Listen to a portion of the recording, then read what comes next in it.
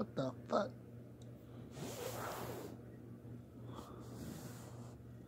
Hey guys, Kamen 12,000 here. And I've been doing a lot of thinking about this. I know I've been really subconscious about my voice, but I figure why not to just rip it off like a band-aid and get it over with by doing something really fun.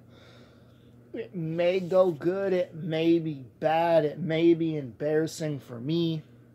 Who the hell are we kidding? It's gonna definitely be embarrassing for me, but I was thinking about doing some song covers for the channel. And I was just wondering if you guys think I should go that direction, if that's something you guys would be interested in seeing. I will still be doing gameplays. Um, Pokemon Fire Red is probably going to be discontinued.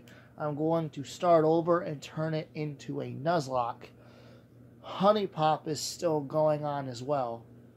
And I will be getting part three of my creepypasta story Cayman out sometime very soon. Probably tomorrow, actually. Which is around the same time I'm probably going to try to release my first cover video. It may or may not be a surprise because of how popular it is, but we'll just see what you guys think of it. Anyway, that was just a quick update.